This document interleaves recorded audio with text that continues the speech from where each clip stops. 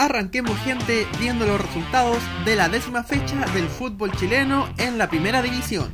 El primer partido fue el día viernes en la portada, en donde Deportes La Serena cayó de local ante el buen cuadro de Unión Española, quienes vienen haciendo un buen torneo y mostrando muy buen fútbol. La Serena no dejó de intentarlo, pero no acertaba a la hora de finalizar las jugadas. 2 a 1 el resultado final. El sábado 16 de abril se enfrentó a Audax Italiano, que empató 1 a 1 ante el cuadro pirata de Coquimbo Unido, repartiendo puntos en el Teniente de Rancagua. Y en la tarde, en un partido sin goles, la Universidad de Chile también repartió puntos ante Palestino. Sigue sin mostrar actitud de grande la Universidad de Chile, enreda puntos en el torneo local y no muestra gran seguridad en la cancha.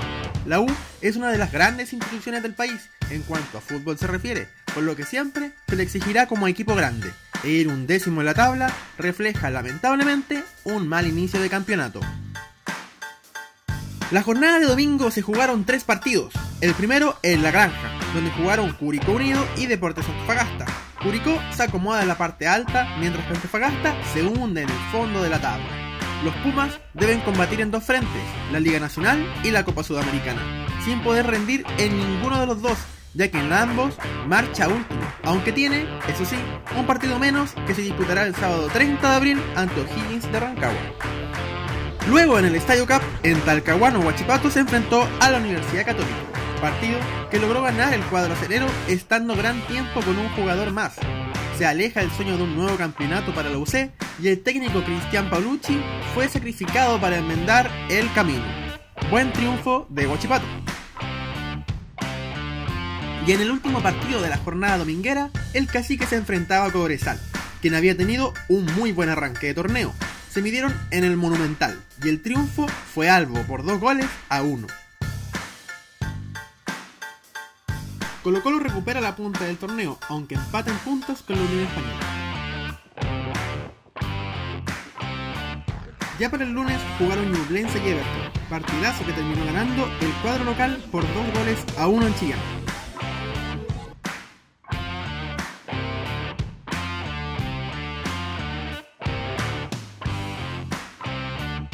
Finalmente, para cerrar la décima fecha, Unión La Calera no pudo aventajar a O'Higgins en la cancha y empataron 0 a 0 en el Sausalito. La tabla de posiciones quedó de la siguiente manera. Arriba Colo Colo en el primer lugar, con 20 puntos. Buen arranque de temporada del cacique que presenta el ataque más contundente del campeonato, con 21 goles convertidos. En segundo lugar, la Unión Española, empatando en puntos con Colo Colo, pero con menor diferencia de gol. El tercer puesto y cerrando la zona de clasificación para Copa Libertadores aparece Ñublense, de gran campaña también junto a Jaime García, a un punto de los líderes.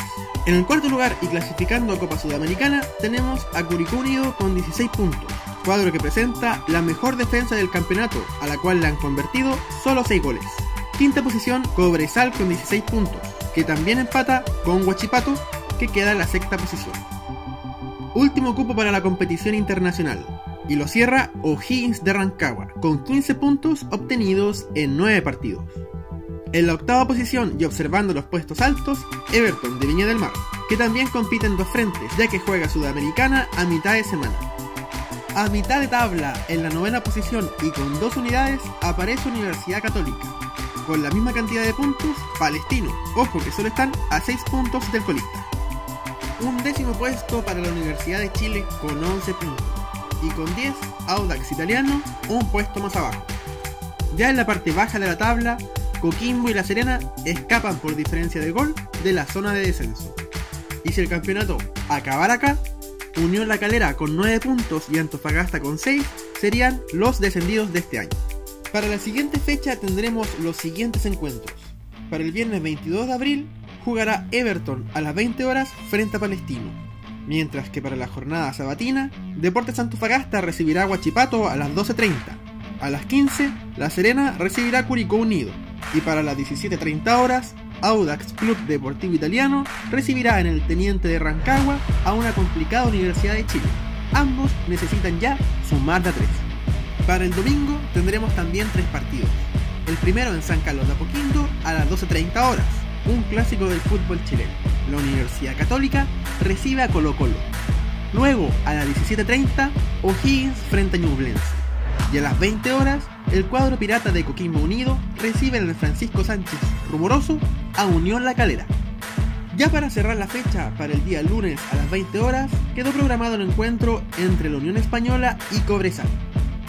Este fue el resumen de la fecha número 10. Espero les guste el contenido, si les gusta denle me gusta, compartan, suscríbanse al canal, nos ayudará mucho para seguir ofreciendo más y mejor contenido. Saludos gente.